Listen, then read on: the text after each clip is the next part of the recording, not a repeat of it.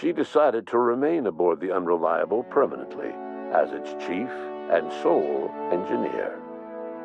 Nyoka returned to Monarch to take another crack at making a permanent life for herself. She formed the Charon Group, a mercenary outfit of ragtag survivalists and wilderness experts. Anyone in need of a guide or just looking to throw back a beer and swap stories could find her camping on the trail or clearing an infestation. Before his untimely death, Captain Alex Hawthorne had plans to restore and modify, for combat purposes, a sanitation and maintenance automechanical that he'd found in a state of disrepair in Emerald Vale's scrapyard. That unit remains broken down and forgotten in the unreliable supply closet to this day. Minister Clarke was released from house arrest, and his contact with you gave him a sense of renewed purpose and vigor. Once it became clear that no help would be coming from Earth, he threw his considerable efforts and talents into helping Halcyon manage the crisis before it. As for Dr. Phineas Wells, he spent his remaining years in his orbital lab.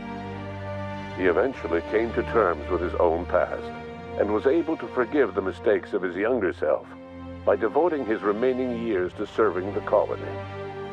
Dr. Wells was able to revive many more scientists and engineers than he first expected thanks to the additional batch of chemicals you stole from the ministry. Wells never forgot about the human lives that were lost in acquiring these chemicals. In the end, Dr. Wells was able to save every scientist and engineer aboard the Hope. Over the next decade, nearly all of the Hope's remaining colonists were successfully revived. Halcyon saw a period of rapid technological and scientific advancement. Breakthroughs in dietary supplements saved the colony from starvation. Geoengineering projects and social reforms began to change the structure and character of the colony. Dr. Wells laid the groundwork for the project to save the colony, but he would never live to see the fruits of his labor. He passed away a few years later.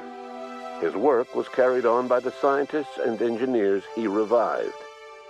Today, Halcyon has stabilized. The people of the colony work hard to adapt to the new circumstances. Nearby colonies send aid and supplies. Life will never be easy in Halcyon, but for the first time in its history, there exists a sense of real, genuine hope about the future. And what about you, the unplanned variable in the history of Halcyon? Long after Wells passed away, you carried on his work with more energy, determination, and brilliance than he could ever muster. The years that followed were hard, but Halcyon survived by the efforts of the Hope's most promising colonists, the greatest of which was you.